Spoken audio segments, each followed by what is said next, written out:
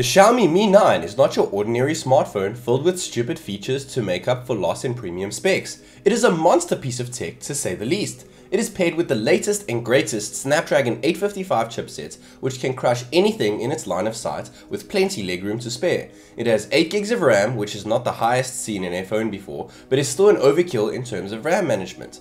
It has been fitted with a triple camera setup for incredible photo taking in ultra wide, wide, and even lossless zoom view. It can charge at ridiculous speeds wired and wirelessly, and to top it all off, has an HDR10 ready, Full HD Plus 6.39 inch AMOLED display, which is both bright and vibrant. Oh, and let's not forget about that $500 price tag. The body of the Mi 9 is like a confused supermodel that is unsure on what the future holds. It is impressively thin at just 7.6mm, but has a camera bump that is arguably half the thickness of the phone itself. It has body paint that is sure to turn some heads based on color change from light reflection and has curves that could kill, but struggles to sit flat on a surface and is a tad on the slippery side. The display is bezel-less besides from the more bearable teardrop notch style since pop-up selfie cams are so early 2018 and hole punch notch styles are too expensive to pair with an AMOLED screen. Above the slim notch, there is an earpiece that can double up as a second stereo speaker, and beside it lays a slim, yes, slim again, LED notification light, which is always welcome. The chin at the bottom of the panel has been reduced and is more symmetrical with the rest of the bezels, but is still noticeable. Where the screen runs off into the sides, there is a power button with a volume bar a dedicated AI button on the left which is useless unless you can speak Chinese, but is said to be Google approved in the global version, but even then cannot be customized. There is an IR blaster on top which is pretty pointless for me, but for some is a nice little addition. And finally, it has a USB 2 Type-C port sandwiched between a single downward firing speaker and exhaust for heat dissipation. Physical looks aside, MIUI 10 now includes a pleasant always-on display that can be customized more than before and even has an epic little sun position animator option which feels pretty futuristic. I like it.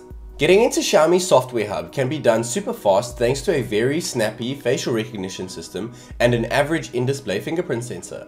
I say average because it is an optical one instead of Samsung's new ultrasonic one, which is supposed to be game-changing. Xiaomi's optical one isn't terrible, but I still find myself opting for facial recognition when the scanner doesn't recognize my print due to water, dust, or just cold weather. Furthermore, it has a bit of a fault. When the charger is plugged in and you try to scan your finger, this weird animated epileptic fit happens with the sensor and always on display, but I'm sure that will be addressed with a future software update. Nevertheless, it is there and it works just as well as let's say the OnePlus 6T though I would have preferred a physical sensor instead if ultrasonic wasn't an option. The extra room could have been used for a bigger battery, if you ask me. Speaking about the battery, it is just 3300 milliamperes. Now, 5 years ago, that would have been impressive.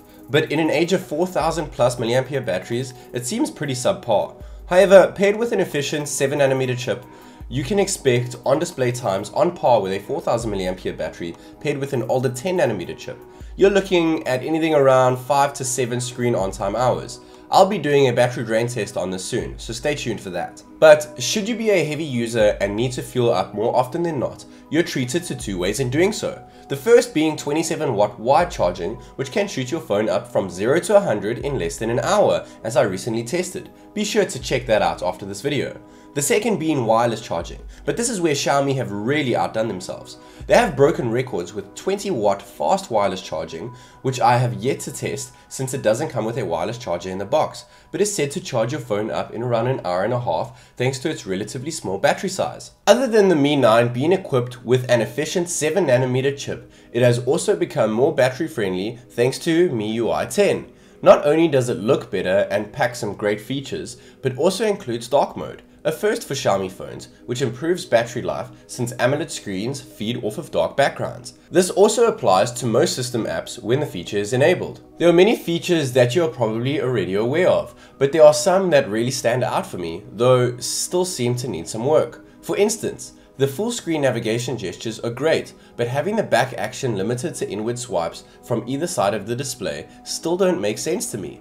Not only is it hard to use with one hand, but often doesn't work at all when in an app such as Gallery, since it is used for something different within the app itself. One thing the side swipe is useful for though is holding in from the side to seamlessly switch between recent apps. This is great, but I think this should be the only feature related to side swipes. Another great feature to have is double tap to wake, which I usually use quite often if available, but whenever the phone is in my pocket it wakes every few seconds, which leads to battery drain. It just seems a bit too sensitive. Hopefully this will be addressed in a software update. Another piece of software innovation is Xiaomi's new fingerprint shortcut menu. Holding down the sensor after the phone is unlocked opens a quick menu for shortcuts, but it takes its time to open and would honestly just be quicker to open the app normally. Not only is it a bit slow, but cannot be customized, though I stand to be corrected. For the life of me, I just cannot find an option. Using the software skin itself is smooth and clean. It has small touches that make you truly appreciate Xiaomi's efforts, such as a fancy looking volume control bar and system icon animations which occur when closing the respective app. If this is not your cup of tea and you are more of a speed of light kind of person, then you'll be pleased to hear that there is an option to completely remove animations routed directly into the accessibility settings menu. Xiaomi's skin isn't all that bad, but one main complaint I have in the home screen is the lack to adjust the grid layout you are stuck to just 4 icons across and 6 down. Vertical icon space isn't a problem here, but a standard for me is at least 5 across since it is not necessarily a small device and things just look more symmetrical with more horizontal icons. What's the fix for this you may ask? Well, unlike Huawei, Xiaomi actually allow the use of third-party launchers such as Nova Launcher, which allows for more customization, screen space and cleanliness. The 7nm Snapdragon 855 chipset is top of its class in terms of performance. Everything you do on the device with animations set on or off is snappy. It is honestly the fastest device I have ever used, period. The only other Snapdragon 855 equipped phone at the moment other than the S10 is the Lenovo Z5 Pro GT, and that achieved an Antutu score of just over 350,000, as opposed to the Mi 9 score of 370,000. It seems the extra MIUI 10 effort Xiaomi have put in has contributed to optimization, which is good for both performance and efficiency in terms of battery life. Make sure you check my Antutu bench run video for the Mi 9 after this. Games can't even begin to sweat what is the Snapdragon 855, and never mind social media apps, this thing can even emulate old Nintendo games without lag. Xiaomi seem to have also improved RAM management as well, instead of just killing previously opened apps. With all this power, you do need something to look at, and thankfully Xiaomi have stuck with an AMOLED display. This is actually the exact same panel as seen on the Mix 3 before it, besides from the notch. It is a bright and vibrant display as I mentioned before. It looks great indoors and is still visible outdoors when set to max brightness. But keep in mind this panel has a peak brightness of 620 nits. That is just half of the new Galaxy S10's 1215 nits. Like they say, you get what you pay for. But is it really worth extra cash for extra brightness? 620 nits is already more than double than an average desktop display and it's perfectly fine outdoors. It may not look as fancy, but your eyes will certainly thank you for it. Otherwise, the screen is awesome to look at and the notch is very discreet after a while due to its curves. Other than display visibility, the screen is fitted with Gorilla Glass 6 protection, which is said to be even more scratch proof, and if you would like Gorilla Glass 5 protection as well, no worry, just flip your phone over and appreciate Xiaomi for including some extra protection on the back glass too. So that means no cover, right? Not quite. The camera bump is the biggest I've seen to date. Seriously, it's almost half the phone's thickness. But let's just be happy that Xiaomi have attached sapphire glass protection, which is said to be almost fully scratch proof.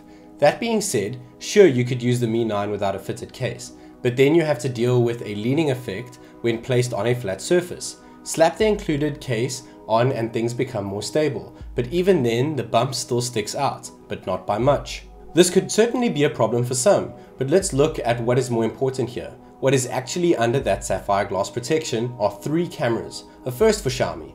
The first and most important one is the primary sensor as it packs in a 48 megapixel Sony IMX586 sensor which is the same as the Honor View 20 I recently reviewed and took as good a photo as the Mate 20 Pro and Pixel 3 XL. This lens has the widest aperture of the three at f1.8. Regular photos come out crisp and clear in daylight settings, but strangely enough it seems the View 20 took slightly better pictures even though they have the same camera. This could be because of the different AIs used. Default mode is set to 12 megapixels as it bins all 48 megapixels for a more dense shot, but when in good lighting, don't be shy to enable the 48 megapixel mode for greater detail. When taking snaps at night, things are alright, but switch over to night mode and things get interesting. Not only does it brighten things up, but it also handles light a lot better, making for higher details around light sources. Not only is it good for taking snaps at night, but it can also improve light noise when taking pictures in low light conditions, especially indoors. The two secondary cameras pack in 12 and 16 megapixels, the former being a telephoto lens for 2 times optical zoom and depth effect assistance, and the latter being an ultra-wide lens for immersive wide shots and even doubles up as a macro sensor since it allows you to get closer to your subject. Both have an aperture of f2.2, and all three cameras are equipped with laser autofocus, which is what LG brought to the table a few years back. It is not quite optical image stabilization, but does the job when needed. A camera feature worth mentioning is what Xiaomi calls straighten, and once enabled keeps your scene straight no matter how you hold the phone. This is a brilliant idea and actually retains the image quality too. On the video front, the Mi 9 once again checks all the right boxes. We have 4K video running at 60 FPS, which looks brilliant, and 1080p at 60 FPS, which looks just as good. They are a bit shaky without any form of true stabilization, but the video quality far outweigh the lack of stable frames. A worthy video feature is subject tracking, which can be used at 4K or 1080p. It simply uses AI software to focus on a subject and follow it around much like a gimbal, but bear in mind it does zoom into the subject, so expect a slight loss in quality. There is also an option for slow motion at 240 or 960 frames per second, and both can be used at 1080p, something the competition lacks. 960 FPS slow-mo works great and really is damn slow, but 240 FPS is a lot easier to use and better for more situations in my opinion. Switching over to the selfie cam which is embedded in the teardrop notch, you are treated to a 20 megapixel snapper with an aperture of f2.0. Pictures come out clear and packed with detail, and the lens does a surprisingly good job of handling lights such as sun rays. Even though there is only a single front camera, it does a pretty good job when it comes to depth effect, which is only software based, though AI helps out in that department quite well. Recording video with the front cam is limited to 1080p at 30fps, and though it does a decent job, I suggest smartphone vloggers opt for the Galaxy S10 due to its 4K front cam acrobatics. Above the selfie cam sits the earpiece, which is slim and measures in at around an inch since it doubles up as a secondary speaker. There is no Dolby Atmos here, but the downward facing speaker is loud and clear, and the earpiece adds some immersive experiences when in landscape, but don't be fooled by its size, it isn't very loud at all.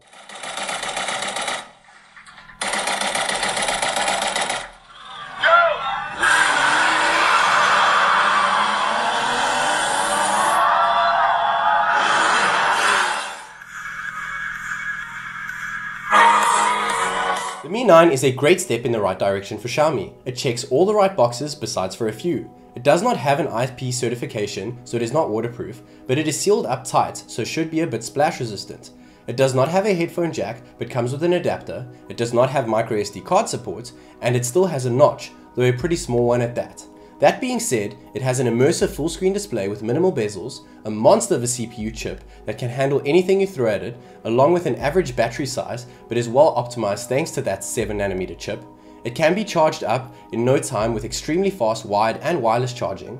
It's extremely appealing and thin besides for that huge camera bump, but that is well protected and the triple cameras within the sapphire glass take some pleasing shots. There are a few hiccups I think Xiaomi could have prevented if they pushed their launch back a bit, but for this price tag there are very few phones I could recommend above the Mi 9. You certainly get more than your money's worth.